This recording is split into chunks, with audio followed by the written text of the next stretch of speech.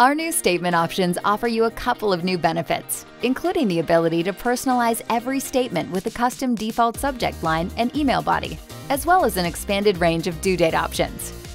You're able to customize these settings for your entire company or on a per account basis.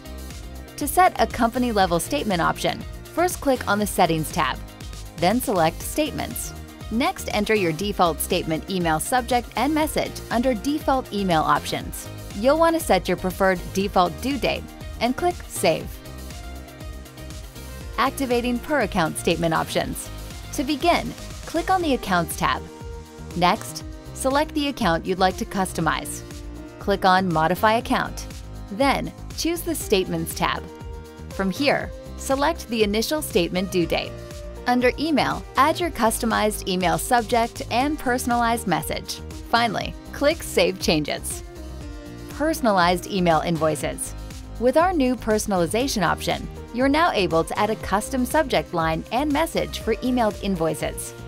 As with statement options, you're able to customize these settings for your entire company and on a per account basis.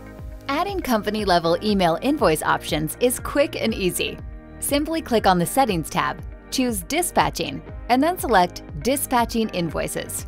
Under Email Options, enter your personalized invoice subject and message. Finally, click Save Options to complete this setup.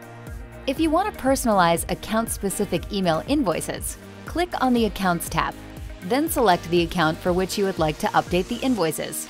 Once the account is selected, click on Modify Account. Choose the Invoices tab.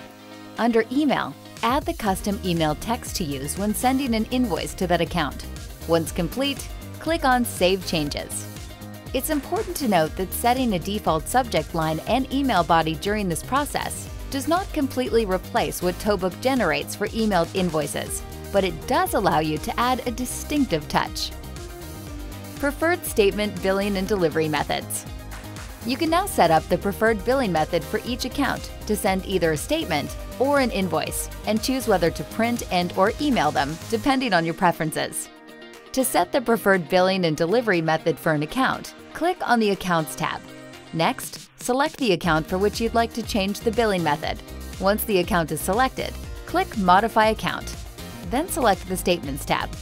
Under Other Options, choose your preferred billing method as either a statement or invoice. Finally, click Save Changes. It's important to note that Motor Club Private property, police, and individual account types will default to an invoice billing method. All other account types default to statement as their preferred billing method. The email delivery option will not be available if there's no email address on the account. Mass sending statements. Once your preferred billing and delivery method has been selected, you're now able to mass send statements based on delivery preference. To prepare and send mass statements, select Accounts. Then, click on the Prepare and Send Statements option. Any account with preferred billing method set to statement will be automatically selected for you, and the chosen delivery method will also be displayed. If you would like to change the delivery method manually on this screen, you can do so now. Once you have the proper delivery method selected, click on Create Statements. Towbook will prepare and separate your statements according to the delivery preference. Select Print Statements to prepare statements for mailing or select Email Statements to send statement information via email. You'll receive a notification that these were sent successfully. Undeliverable Emails Report Easily identify any statements or invoices that may not have been successfully delivered to customers using our new Undeliverable Emails Report.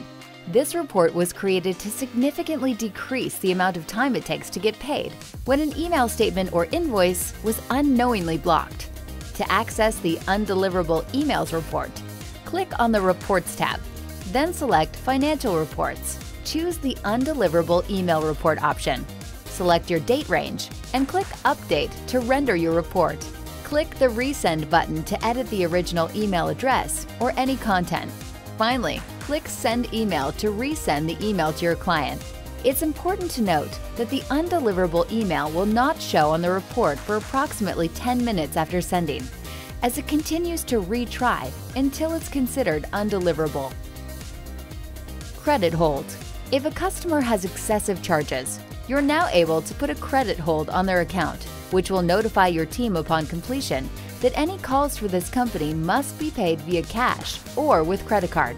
To apply a credit hold, click on the Accounts tab, then select Modify Account. Under Credit Options, select the Credit Hold box. Finally, click Save Changes. It's important to note that once this option is added, it is not able to be bypassed by anyone in the company when creating, dispatching, or completing calls. It must be removed from the account to allow a balance to continue accumulating.